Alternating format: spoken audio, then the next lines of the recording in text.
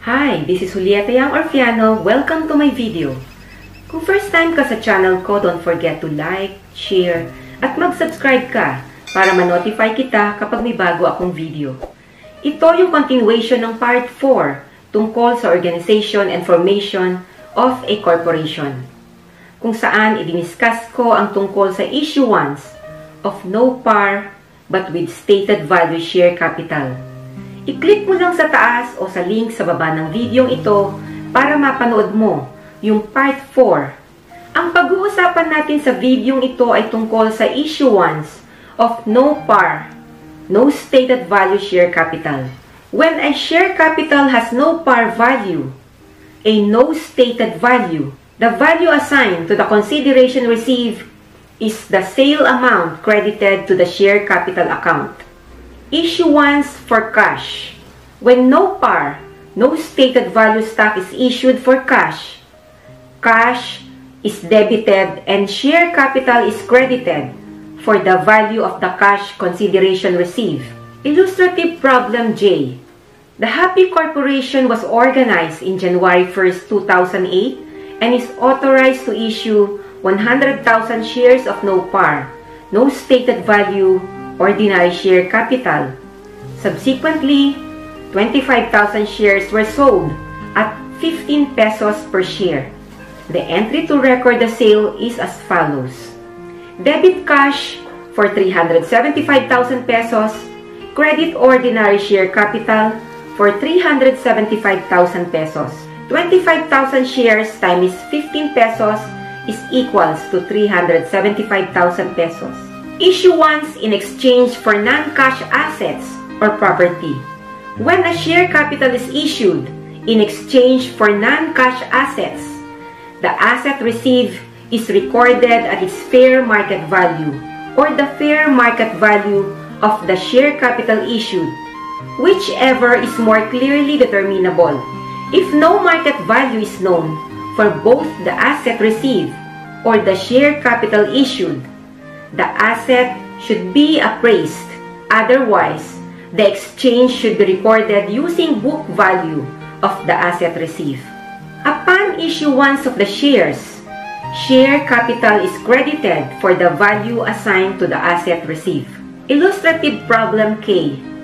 The Happy Corporation issued 10,000 shares of its ordinary share capital in exchange for land. The entries to record the issuance of the share capital under the memorandum entry method using three independent cases are as follows. Case number 1. The land has a market value of 175,000 pesos. Debit land for 175,000 pesos. Credit ordinary share capital for 175,000 pesos. Case number 2. The land has no known market value. The fair market value of ordinary share capital on the date of exchange is 15 pesos. Debit land for 150,000 pesos. Credit ordinary share capital for 150,000 pesos. Case number 3. There is no known market value for both land and common stock. The book value of land is 100,000 pesos. Debit land for 100,000 pesos, credit ordinary share capital for 100,000 pesos. If the share capital has no par and no stated value, only the memorandum entry method can be used. Issuance in exchange for services rendered. When a share capital is issued in exchange for services rendered, pre-operating expenses is debited for the fair market value of the services rendered or fair market value of the share capital issued. Share capital is credited for the value assigned to the services received. Illustrative problem L.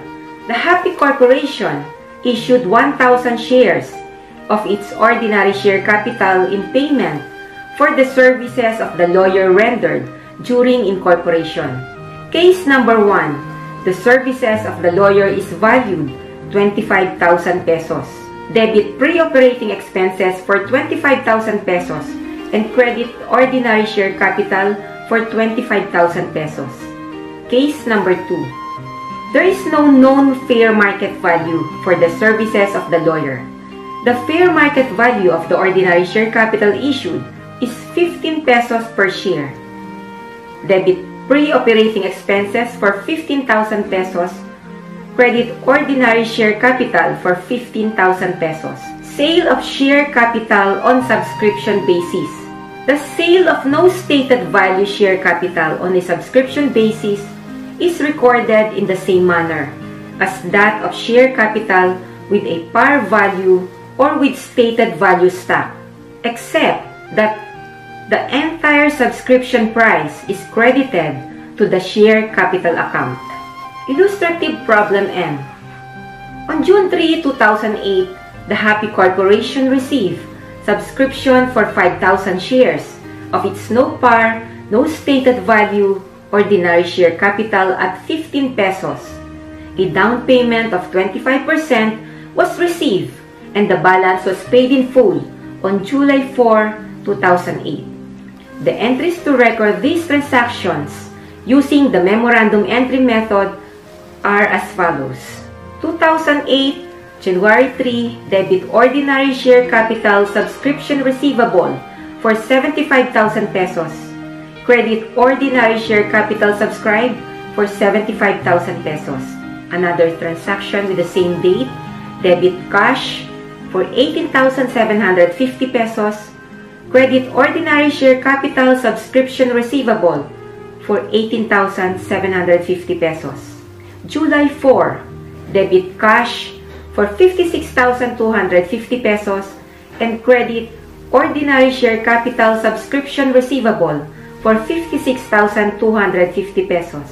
Another transaction on the same date, debit ordinary share capital subscribed for 75,000 pesos and credit ordinary share capital for 75,000 pesos.